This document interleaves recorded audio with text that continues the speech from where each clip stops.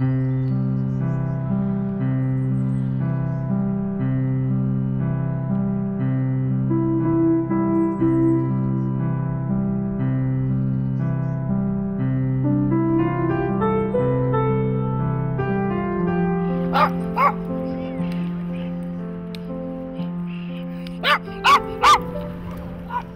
name is Michael Guest and I live at the top of Baker Street near Regent's Park.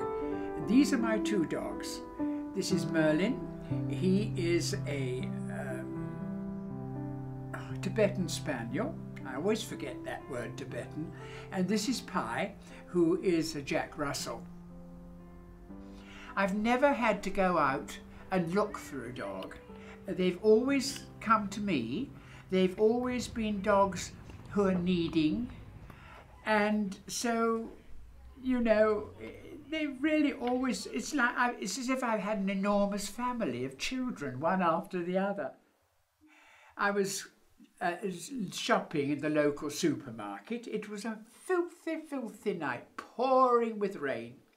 And on the other side of the road, walking along, was a tramp who was so drunk he could hardly walk, dragging behind him a little Jack Russell on a piece of string.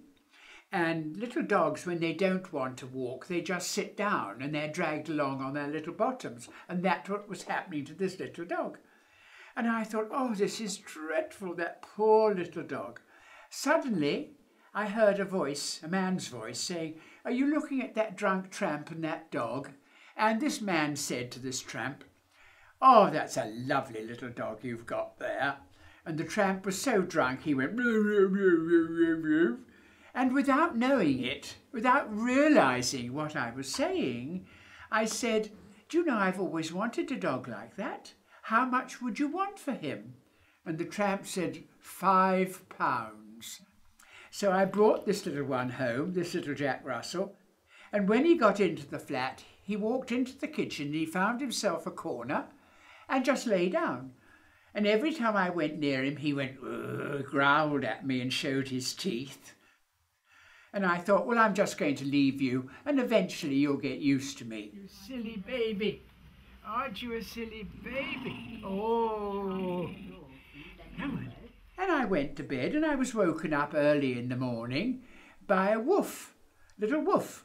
And there he was, standing by the bed. So I picked him up and I put him on the bed.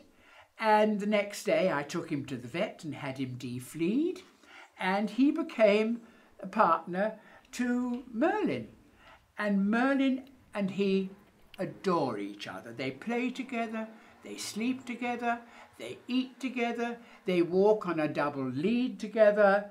And it's, it's as if they were you know, twins almost, but they look so funny because there's this beautiful, beautiful Tibetan spaniel called Merlin with all this lovely hair and obviously an aristocrat. And here was this little Jack Russell who's all different colours, white, brown, black, looking really rather common. But he was so sweet. And somebody said to me, that looks like dignity and impudence, those two dogs. Are you beautiful? You're very handsome. Yes, you are, aren't you? You're very handsome. Yes, you are. I have um, uh, special dog food. come on, boys. Come on. Come on. That's right. That's it. And I chop it all up and into small bits on a plate, put it in the oven, warm it up, bring them out of the oven, and I've got two plastic plates and I divide it. Did you say thank you for your dinner? Yes, oh, you're a beautiful boy. Then I, I brush the dogs. I brush Merlin with a special wire rake because he's got all that lovely hair. This usually makes you scream, doesn't it? You don't like it? No, I, yes, I know you don't like it. You pretend it hurts and it doesn't. Put my coat on and the leads. I have I either take them on two separate leads or a double lead and we go for a walk in the park. And we walk in different ways every day. One way we'll go to the tennis courts, another we'll go to the wild garden, another we'll go to the playing fields, so that they have different smells and everything. And we walk for about two hours. Hello, little one. Hello, little one. Hello, how are you this morning? You look very well, very smart. People walk past and they think, this man's mad, he's talking to his dogs. but that's how I am, that's how I am. I think, I think I'm a bit eccentric, but I wouldn't change, I wouldn't change for the world. Lovely. You had a lovely walk. And then I bring them back and we have lunch together.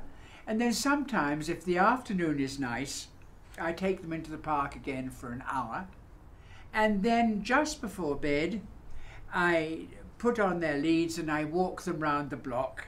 This is called the emptying walk because dogs are like human beings. They want to faire pipi sometimes.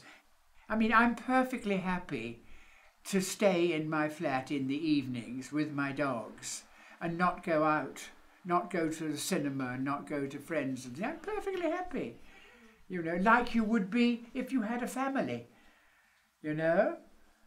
And I just, I just love them. I look forward to having uh, many, many more years. And I only hope there are going to be a lot of years with me. But in case there isn't, in case there isn't, I've made arrangements with friends that if, if when my time comes, one of the friends will take Merlin and another friend will take Pie, when, and they will be looked after and loved as I do because these people who, who uh, love their dogs like I do. Uh, uh, uh, we, we think about dogs in the same way. They're, they're, they're almost human, you know, and, and uh, they become the ruling factor of our lives. A lot of people think I'm mad. I don't think I'm mad because I'm a very happy man.